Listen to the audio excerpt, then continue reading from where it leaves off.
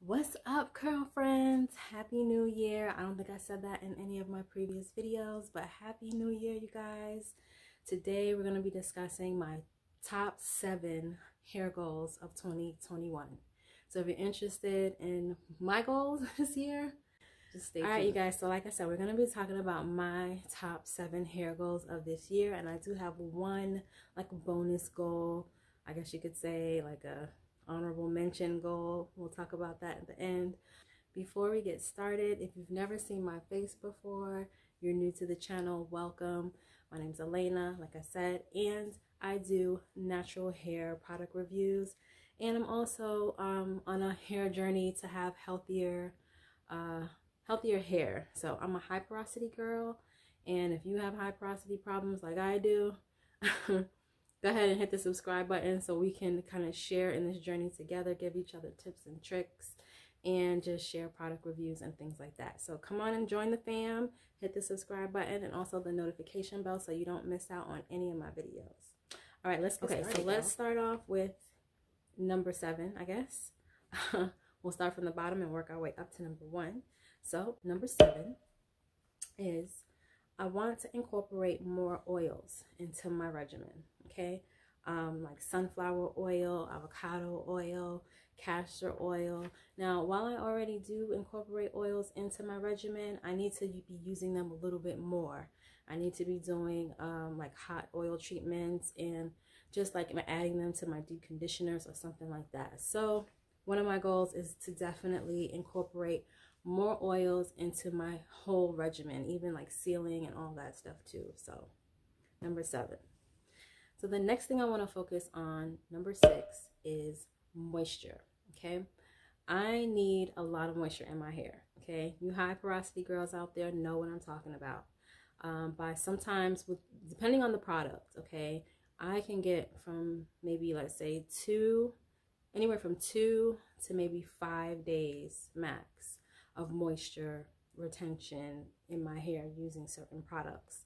Obviously, some last longer than others. Some products are maybe higher quality or they just work better in my hair. The moisture level is just that good that sometimes it may last five days.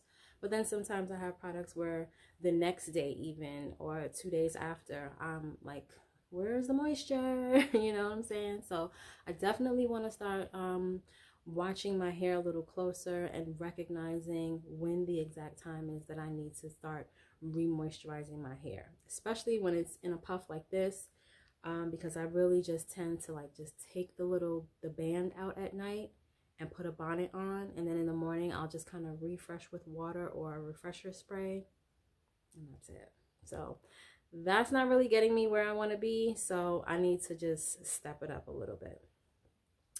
Number five more scalp massages this is something I tried to incorporate um, like the last, the latter part of 2020.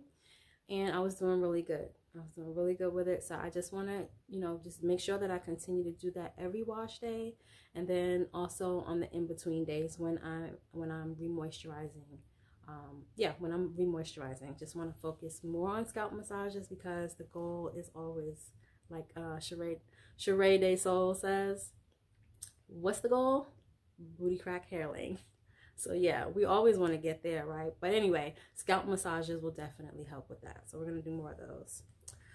Um, number five would be to thicken my hair. I want to work on the thickness of my hair. So, you know, I always complain about like my shedding and stuff like that. And we're going to work on that too. Um, but uh, that all comes into play with moisturizing, length retention, and all of that and just making sure I um, deep condition, which I always do. I never, I never miss a, miss a deep condition.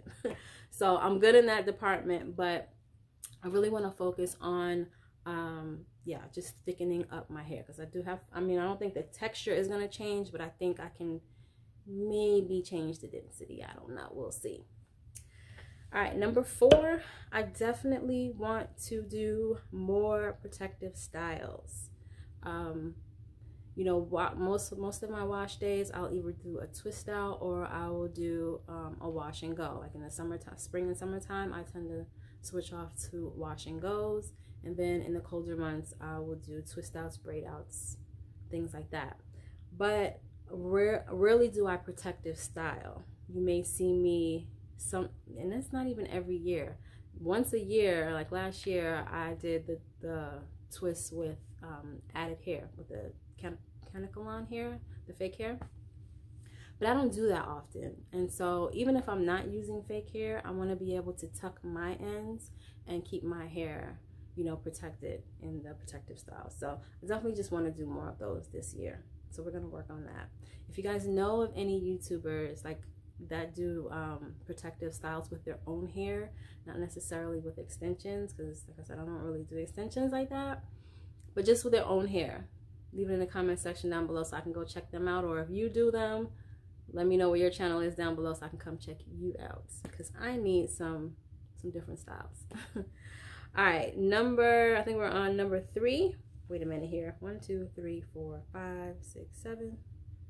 I think I I don't know, I messed up the number somewhere, but um, this is actually number two. Sorry, I messed up the numbers, guys. Um, number two is definitely to use up my stash. I told y'all before, I have no business buying anything. Nothing. No business. But these new products keep coming out, y'all. Just, the product junkie in me just can't help it.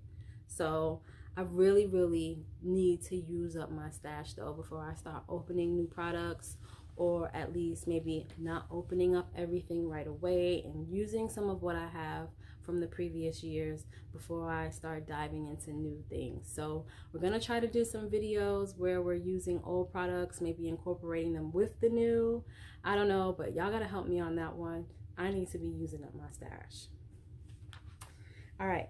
And number one, is hot oil treatments. I must, must, must, must, must, must. I must do hot oil treatments. There is no if, ands, or buts about it. Me being high porosity, I need hot oil treatments in my life, and I just don't do them. Um, I usually, I've done, I do, I've done them in the past, but I've only done them like maybe twice a year. I need to be doing them like every wash day, basically, like a pre-poo hot oil treatment or whether I'm just adding them to my deep conditioners and maybe having that be my hot oil treatment slash deep conditioning session.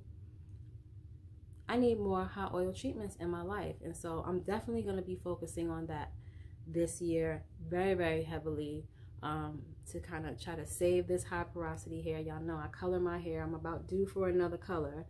But um, yeah, I really need to focus on hot oil treatments, y'all. So basically, I need a whole new regimen anyway for you know to take care of this hair because I've known I've, I've, been, I've known that I'm high porosity for quite a while but a lot of YouTubers are like low porosity and so I think I've gotten caught in, I got caught up into the whole YouTube following along thing where I'm just following other girls' regimens and I need to create my own, really. Um, I know the steps that I do are healthy steps, you know, in following these girls, but I really need to take the time and do what I need to do for my hair. So that's what I'm going to do. Actually, probably the next video you see is going to be me building my new hair regimen. So if you're interested in that, stay tuned for the next video because um, I'm definitely going to be putting together a new regimen for All right, hair. and then my uh, honorable mention goal this year is to try, oh my gosh, y'all, and I know y'all are with me on this, to try to have more no buys this year, okay? I'm putting myself on a no buy as of January 9th, okay? There's a couple more things I want to get. That's why it's the 9th, which for me is in two days. so if I don't get what I need or what I want to get within the next two days, I'm not going to buy anything else at least for another month hair related. Nothing else, okay? I have a couple of haul videos to show y'all, so stay tuned for those. Products are coming in from my end of the year sale, you know, buys since I missed out on Black Friday um, and those are coming in so stay tuned if you want to see those videos but yeah, I kind of like I didn't go ham, but it was like really unexpected for me to get those those products. So the the hauls that you're gonna see coming up, I had no business. I had no business, but I shouldn't have to buy anything for a hot minute. So the no buy is on in two days. I'll post it on social media. Y'all try to keep me accountable, okay? Yeah, get on me if I come on here talking about I bought something else and it wasn't from the end of the year sale, okay? Get on me. Or if it was after the 9th, okay? Get on me. All right. well, that's it, you guys. Those are my uh, 2021 goals for my hair this year. Let me know in the comments down below if y'all have made any goals for yourselves. Have you ever even considered making hair goals? Like this is my actually my first year doing this. I never even thought to like have a hair goal before. I mean, I've had them, but never really like put them down on paper and then try to see what I do in a year. You know what I'm saying? Everyone always has a goal, but sometimes you don't write them down.